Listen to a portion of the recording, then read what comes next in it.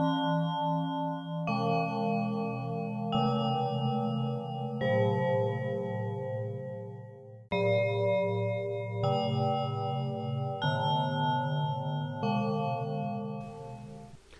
力の問いさんですね。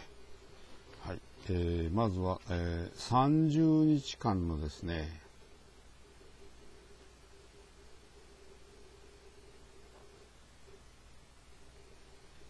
の重油ですね。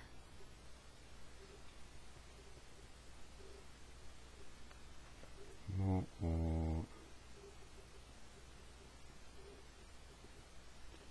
総発熱量ですね。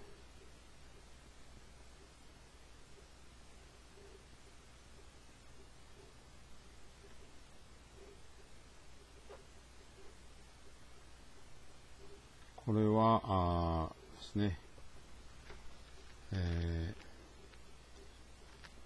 ー、4万4000のキロジュールですね。えーえー、これかけのかけの10の3乗キログラムなんですね。ともキログラム伸ばしました。はい。そうしますと、これがですね、484かけ、えー、10の8乗キロジュールとなります。で、えー、次にですね、えー、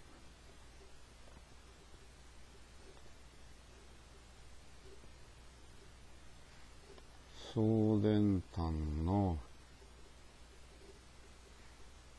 電力量ですね。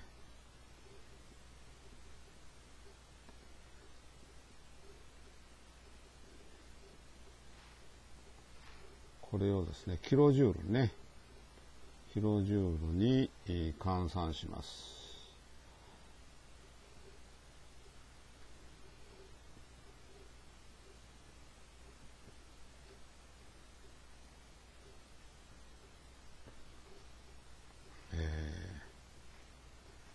5000のメガワットアワーですから、これは、えー、5000ですね。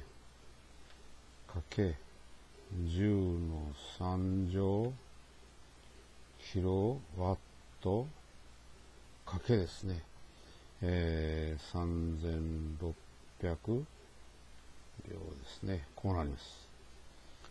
はい、そうしますと、これは、5×10 の3乗かけ10の3乗かけ3 1.6×10 の3乗。えー、ここでキロワットセコンド。こうなります。はい。それこれ18かけ、えー、10の9乗キロワットセコンド。ね。これは、えー、18かけ10の9乗キロジュールですね。はい。えー、これだけのですね、えー、重油から出た熱が、電力としたらこれだけですね。えー、出ましたよと。こういうことなんですね。はい。で、えー、ボイラー効率ですね。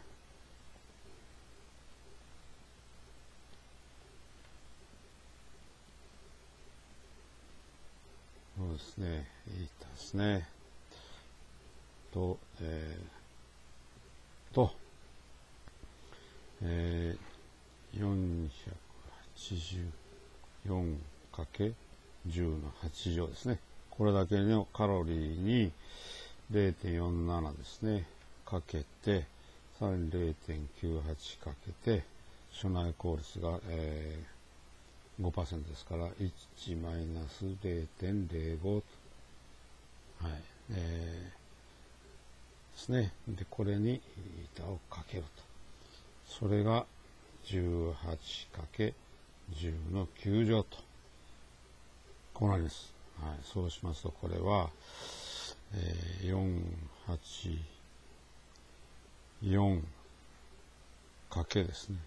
0.44かけ10の8乗、えー、イータの、これが10の8乗かけ10の9乗と。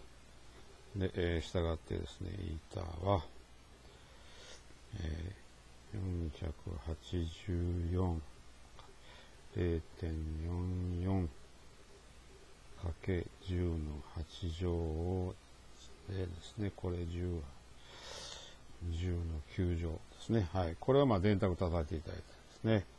えー、これは0.85となりますから、えー、これはですね、えー、85%と、